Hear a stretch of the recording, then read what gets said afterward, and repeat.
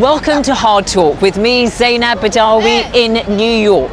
My guest in this rare interview is the Foreign Minister of Iran, Javad Zarif, who's on a visit here. Tensions between the United States and Iran have been at a historic high. President Trump said he was 10 minutes away from war with Tehran following recent tensions in the Persian Gulf. And what about the Europeans? Can they save the historic nuclear deal after President Trump unilaterally withdrew from it?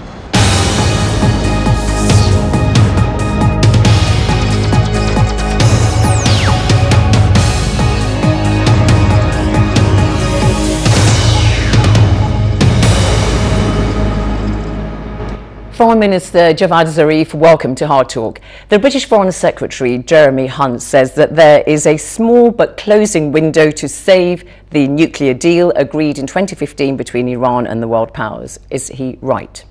I think he is right, but it requires uh, committed determination uh, on all sides uh, to save this deal. Iran has implemented its part of the its part of the deal, and it is necessary for the rest of the world uh, particularly for the three Europeans, to also uh, take action. Uh, they made very nice statements, but statements do not provide economic benefits for Iran. Let me just tell you what uh, leaked documents have told us about at least the UK position about the US withdrawing from the deal last year. Sir Kim Darroch, who has just stepped down as British ambassador to Washington, said that Trump's got an incoherent and chaotic policy on Iran, and that the US is set upon an act of diplomatic vandalism, seemingly for ideological and personality reasons, because it was President Obama's deal. To what extent have these leaks affected the dynamics in all of this? Has it made Iran feel encouraged to try to exploit differences between the US and Europe? Well, we, we believe that this deal is in the interest of the international community, including the United States. It doesn't matter whether the previous administration in the United States uh, negotiated this deal. Uh, this is a deal that was negotiated by the United States because, as you know, uh, in the international community, you don't recognize this or the other government. You recognize a country and the government of that country. And we did negotiate this with the government of the United States, and the government of the United States should abide by the commitments. There wasn't a revolution in the US uh, last I checked. So I, I, believe that it is for President Trump uh, the best deal possible. I believe President Trump is being advised mm. by people who are not interested in promoting peace, but interested in the, in advancing an agenda that they've had. Just sticking with the European point, does do you feel emboldened now to try to exploit the differences between Europe and the US? I mean, the Europeans have said consistently it was a matter of huge regret that the United States withdrew unilaterally from the nuclear deal. Uh, I believe it's, uh, it's important to make that statement, but at the same time, it's important uh, to basically invest in what Europeans believe is a security document for them and is a security agreement for them. You cannot make any gains without basically making the necessary investment, and I think that is what's lacking. We have invested in the nuclear deal, more than talking. We have done things on the ground. The Europeans are not prepared to do things on the ground. They're willing to make like statements what? like purchasing our oil. Foreign Minister, with the US sanctions on Iran, the, the Europeans cannot buy Why not? American oil Why not? because Tell it's me. going to affect their companies. If the Europeans, the Chinese, the Japanese, the Russians, try all of them to not allow the United States to bully them into abiding by its decisions, would the United States be able to destroy global economy and put sanctions on all of them. Let's take it Shell, Total, any uh, Sinopec, all of them at the same time. Disregard this demand by the United States, which is But illegal, it's not, going to, it's not going to happen. I mean, Natalie Tocci, who's advisor to Federica Mogherini, the European Union foreign policy chief, says the deal could be saved if there was US compliance, but this is not a likely proposition. So the Europeans' position is to try to strengthen what they call INSTEX, which is this framework through which the sanctions could to some extent be circumvented, especially allowing Iran to receive humanitarian aid, medicines, and so on, which are exempt under the US sanctions. Do you have any faith So that you this to, would work? Do you, have any want faith to in it? You want to accept U.S. predominance in, in, in global economy, even to your own detriment. Well, I'm I- just I telling don't you what the Europeans say. Uh, the- uh, uh, unfortunately, this, this is what they're saying, and I do not think this way they can resolve the, uh, this crisis or any crisis. The Europeans and the rest of the global community are strong enough to withstand this. There is no need to try to circumvent it. But if they want to circumvent it through Instex, we have to see whether there is any actual benefit for the Iranian people. You see, the people are dying from cancer. People are dying, kids are dying from EB. People are dying from MS just because there are a very limited area of uh, pharmaceuticals that we cannot produce in Iran, and the United States. the- yeah. uh, the United States says that they are Yes, exempt from sanctions. they are exempt. But, but financial transactions in order to purchase them are not exempt. Of course, the, the Americans say they are exempt, but they're not All exempt. right, so you've given the Europeans 60 days again until early September to try to come up with some kind of way out of this to mitigate this impact of sanctions No, we, on the we haven't given them any ultimatums. What we did was, for an, for an entire year, they asked us for a few weeks. We gave them about 60 weeks. And then we started, based on the agreement, not outside the agreement. The United States, as you know, walked out of the agreement. But we used a mechanism within the agreement in order to show them that they need to come back to the agreement and implement it. So we're not giving anybody any ultimatums. We are just implementing what we told them very transparently that these will be the steps that we will take. Under the, the, the nuclear deal, Iran is only allowed to enrich its uranium to 3.67. We now know that uh, you are enriching uranium beyond that to around 4.5. So why do this? Because it doesn't help the Europeans make your case, does it, to the Americans? uh, we implemented the agreement fully. Uh, IAEA made 15 reports from the beginning, five of them after the US withdrawal, and all of them indicated that Iran was fulfilling its commitments fully. Unfortunately, the Europeans could not take advantage of these and just drag their feet it won't, it won't uh, happen again. You know, Iran is a country with an old civilization. Uh, for us, the dignity of our people is extremely important. But why enrich the uranium, Foreign Minister? Because, Because- President Rouhani said on July the 7th, our enrichment level will no longer be 3.67. We will increase beyond this to as much as we want, as much as is necessary, and as much as we need. And you know, the Europeans say no partial compliance is acceptable. well, the Europeans cannot say partial or full imp- uh, compliance whether it's acceptable or not. It's the deal itself.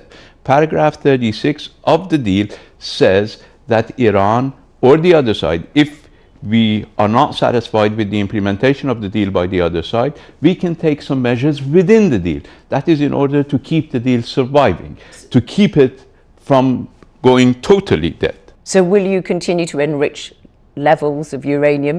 This deal was, was written based on total mistrust. Neither side trusted the other side. That is why we put everything in black and white.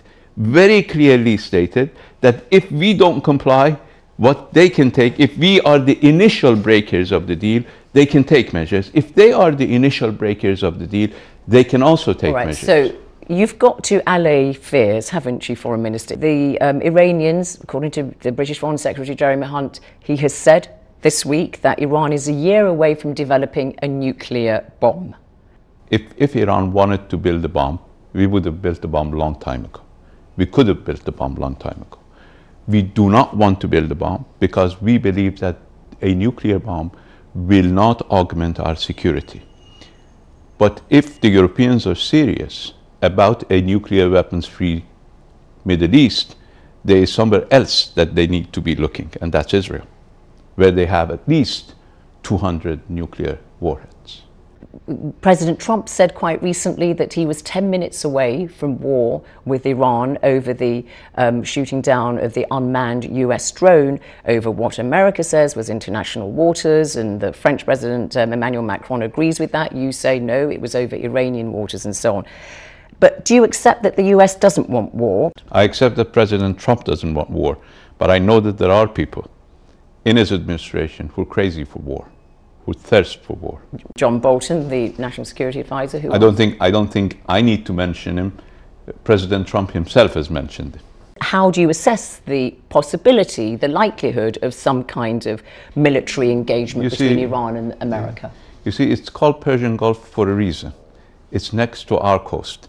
We have almost 1,500 miles of coast with Persian Gulf. It's not the Gulf of Mexico. We're there, we're protecting our uh, territorial waters.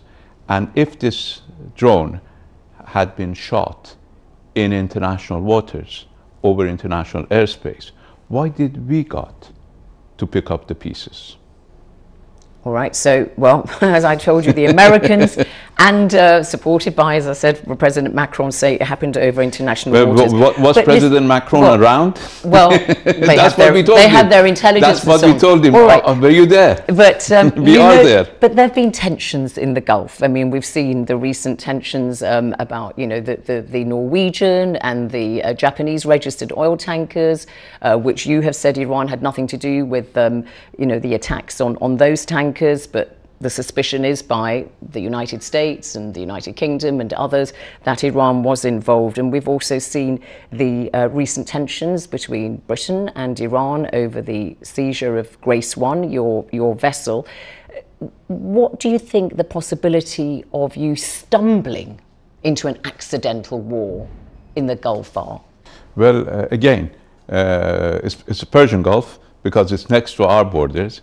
It's a body of water that Iran has uh, protected.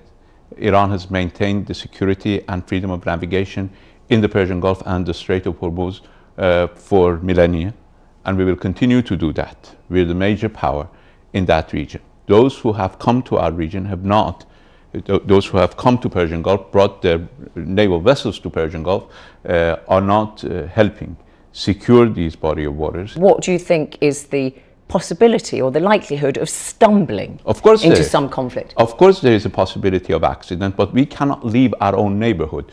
Those who have come from outside have to decide why are they in that neighborhood and whether their presence in that neighborhood is helping uh, stability and security in that neighborhood. How high do you think the possibility of an accidental war I mean, we just, uh, we, as, as President Trump has said, we were 10 minutes away from war because had they taken measures against Iran, President Trump had been told that, we, that Iran will, would be taking measures in self-defense.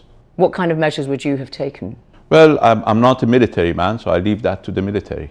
Well, we've heard statements from Iranian authorities that there would be attacks on allies such as uh, Saudi Arabia and uh, Dubai if there were any military action against Uh, Iran. uh, you see, we don't take blind action.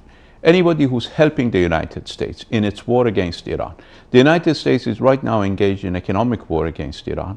Uh, there are countries that are providing the United States with uh, logistical support, with uh, reconnaissance. Uh, that means that they are participating in the war. So we're not. So that could happen. You could not- target uh, will- allies in the there- Gulf. if there is a war, US allies. if there is a war, then I do not think anybody will be safe in our region. But let us all try to avoid one. We don't need a war. We've gone through eight years of war, a war that was imposed on us with the help of everybody. But why not de escalate the um, situation? Um, for example, the Grace One, which has been seized by British naval authorities. You've had a conversation with the British Foreign Secretary Jeremy Hunt, and um, he said, "You look, this vessel could be freed if it's not bound for Syria." It's that kind of action which, Uh, I mean, which the West find provocative. It's, it's piracy, plain and simple. But there are EU sanctions The- against selling no. oil to First Syria. of all, there are EU sanctions against buying Syrian oils, not against selling Syria oil. One. Yes, Second, but going through EU. Second, sorry, there are EU sanctions No, no, against no. selling oil to Syria There- there's for EU European sanction- countries. for Europe from European Yes. countries. Iran is not a European country. But you were going country. near Gibraltar, which Iran is part not of the a- EU. No, that, no, no, no. That's part of international shipping lanes. We were going through that, but we announced from the very beginning that this ship was not destined to Syria. Where was And it I- going And then? I told Jeremy, I'm not supposed to tell, I'm not obliged to tell anybody. The- This is international freedom of navigation. So there was oil on the tanker, obviously. Iranian oil. Iranian oil. The tanker is you not Iranian. say where it's going. The, the tanker is not Iranian. It was carrying Iranian oil, which we had sold, and it was going to to a place in Mediterranean other than Syria. We made it clear. You know that we are under sanctions from the United States. Their uh, uh, objective is to bring our oil sales to zero. That is why we will do whatever we can to avoid the United States knowing what we are doing. One So more thing. was it oil One going to Turkey, One, one more thing. One more thing.